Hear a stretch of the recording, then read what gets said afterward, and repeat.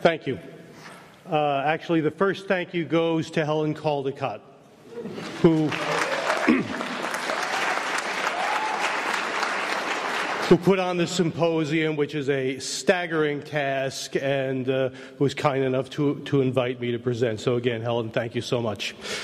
Um, my topic is going to be um, about the uh, article that was published five days ago in the Open Journal of Pediatrics about the uh, changes in newborn hypothyroidism uh, in the United States after Fukushima.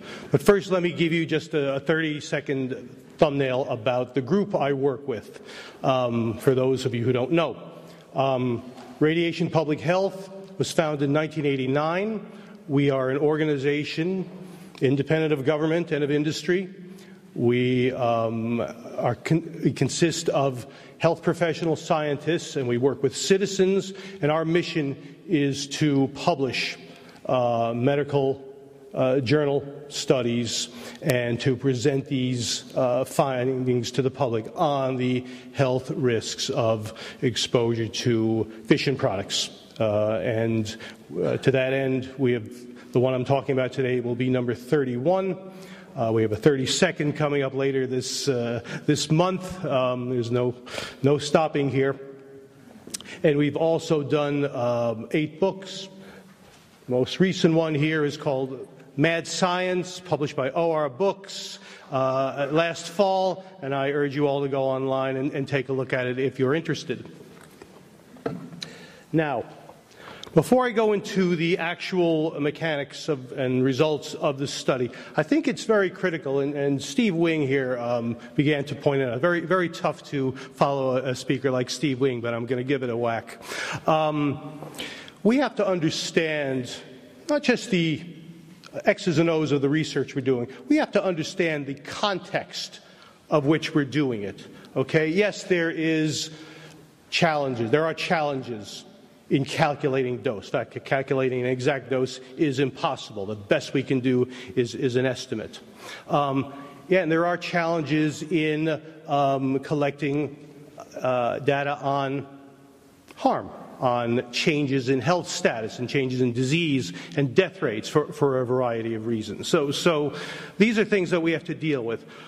But I would be remiss if I didn't say that the greatest challenge that we in the research community face is one of corruption. Corruption of the objective scientific method. Okay? From the very beginning, from the literally the, the second that um, the Fukushima meltdown began, there was a rush to judgment by a number of people and organizations in authority, the Japanese government, TEPCO, uh, the IAEA, the World Health Organization, to absolutely minimize this disaster, which uh, everyone acknowledges was either the worst or the second worst disaster in, in nuclear history. Um, this was not some s- small leak uh, near, near a nuclear plant in, in some isolated area. Um, what, what they, and what the rush to judgment is, is the people immediately jump to the conclusion that these doses are very, very low and very small amounts get in people's bodies, and that there's no way that um, humans can be harmed or the harm is going to be very, very minimal. Um, assumptions like this absolutely make hash of the, of the scientific process, of the objective process in, in examining topics like this. Um, the worst thing about it is some of these groups are very high profile, all right? They report this information to the media, and the media reports it to the public. And they report it again and again, and the public begins to believe this. Okay, even before any studies are done. There, there, in fact, I'll, I'll even say there was there's one comment by a gentleman by Dr. John Boice from Vanderbilt University who said not only are the doses were are so so low, there's no way any epidemiological study could detect any increase in any disease from, from Fukushima. So, in other words, put your pencils away, everybody. Don't, don't do any studies. Um, it is up to us in the more objective uh, areas of, of, of the research community to stand up to this. We need to, first of all, conduct studies immediately, as soon as we can. We need to use whatever data we have, even though it's going to take decades and decades to really find out what the full uh, meaning of, of, of Fukushima was, we have, to, we have to start now. And most importantly, we have to get this information out into the public so that they understand we're not dealing with a small leak here, we're dealing with a, an extremely serious situation. Um, the article we did is actually our second article uh, on Fukushima health effects. I'm the co author with uh, my colleague, Dr. Janette Sherman, who is an esteemed internist and toxicologist. Uh, we picked the topic newborn hypothyroidism. And for those of you who don't know, hypothyroidism is a condition where the um, level of thyroid hormone is very low and the gland is underactive. When this occurs in uh, newborns, it um, can do great harm to any physical and mental development. Um, they, it's, it's screened for by every state in the United States for the last several decades to, to, identify these people and to put them on thyroid hormone immediately to, to avoid some of these, these terrible consequences. Um, two, two elements made up our paper. Number one was dose. Um, again, no, no, such thing as a perfect dose. But we used uh, EPA data on what we call gross beta. In other words, all radioactive elements that emit beta, uh, that uh, particles, including uh, radioactive iodine, which is very, which attacks the thyroid gland. And we also used whatever the EPA data came up with on iodine 131. This was very poor. They only had something like 77 uh, readings of I-131 in precipitation until they, two, two, months later, they said we don't need to, to uh, accelerate any monitoring. We're going back to once every, every six months, which, was, which is just a, uh, a, a, terrible, terribly poor um, decision on their part. Um, we know hypothyroidism is something that's sensitive to radiation, to, to iodine. We've seen it before and we've documented it in our paper. Uh, experiments on rats years ago. Um, people in the South Pacific exposed to atomic bomb fallouts. Um, people uh, living downwind from Three Mile Island and people uh, from and after the Chernobyl accident all showed in increased uh, levels, uh, rates of hypothyroidism. And we also know that the fetus and the newborn are far, far more sensitive than adults to a particular dose of radiation. So, so this, not to mention the fact that we didn't have much data to choose from at this, at this early date, um, we feel hypothyroidism is, is a good um, disease entity to start with. Um, unfortunately, I had to call up all 50 states uh, newborn screening programs. I yearn for the day when this country has three states instead of 50. Um, 41 states responded. Um, we, we found that the five states on the West Coast and the Pacific, California, Oregon, Washington, Alaska, and Hawaii, tended to have the highest levels of not just gross beta that we found, but other uh, researchers have found high levels in kelp and in soil and, and, and air as well. So we compared the changes, the 20 to 10, 2011 changes uh, in the cases of newborn hypothyroidism for these five states versus the rest of the country, the other 36 states for which we had data. Um, we found the following. We found that in the first 15 weeks after the fallout from Japan arrived in the United States, the number of newborn thyroid hypothyroid cases increased 28% on the West Coast, and for the rest of the year, the last nine months, increased 16.5%. Uh, this is compared to the rest of the country, in which we saw a 3% decline. Uh, the differences are statistically significant, although we do point out in the article that these aren't a huge number of cases. In, in a single year in the United States, something like 2,000, 2,200 or so uh, newborn hypothyroid cases are, are detected. Now, um,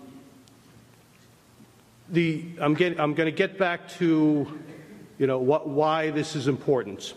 Um, we, this, this study is, is certainly not an ending to, to, the, to the research effort for Fukushima. It is very much a beginning. It is a very basic study, all right? But we make very clear that not only are there limits to this study, which any good um, uh, author will do, but there are things we should be doing uh, in the future. More studies on thyroid uh, conditions such as hypothyroidism, and more studies of um, other conditions uh, of the fetus and the infant.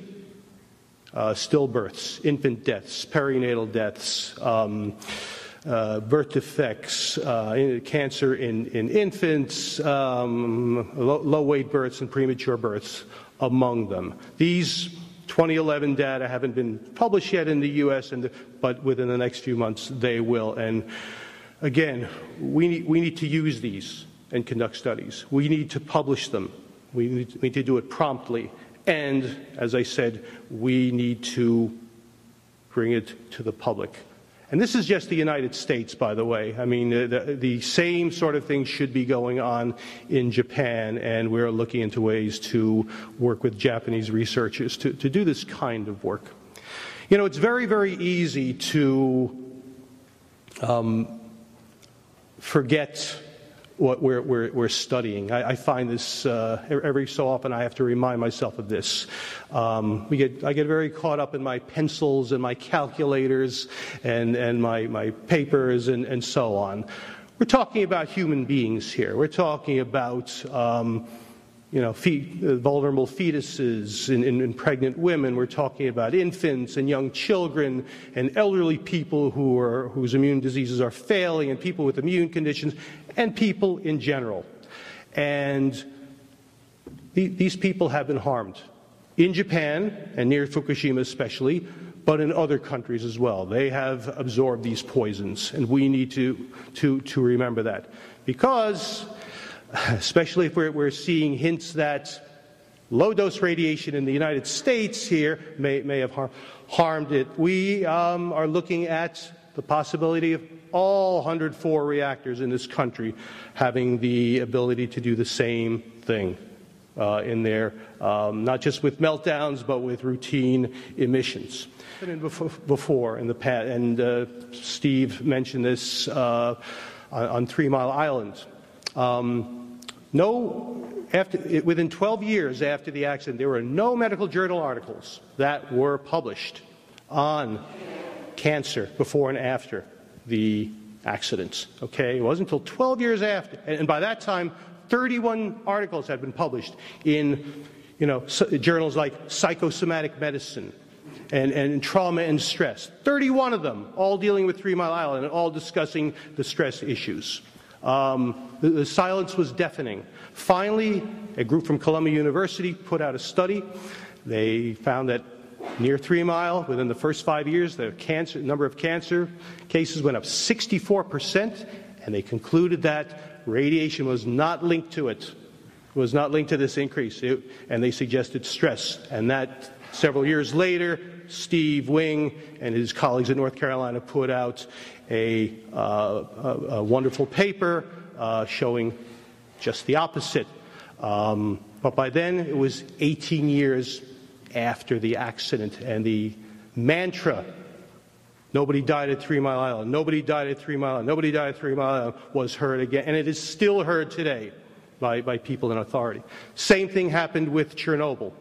Um, soon afterwards, when they, uh, the, the, firefighters got rid of the fire and, and covered the damaged reactor, uh, 31 um, liquidators got absorbed high doses of radiation and died very quickly. And boy, if I had a dime for every time I heard the, the number 31, only 31 people died at Chernobyl. Only 31 people died at Chernobyl. And this is while you know, mass suffering was, was being reported um, in the Ukraine and, and, Belarus and Russia and, and, and elsewhere. And it wasn't until 2009 when this, this terrific book by Alexei Yablokov, who's one of our speakers here, was put out. His estimate, based on 5,000 um, reports, was 985,000 deaths worldwide. That was nine years ago. He just told me at, at, the break that the number has grown ever since. So that is my um, uh, my final final word to you. We need to be vigorous as a research community in getting these studies done with using whatever data possible and getting it to the public. Otherwise, as Santayana said, we're doomed to repeat history. Thank you very much.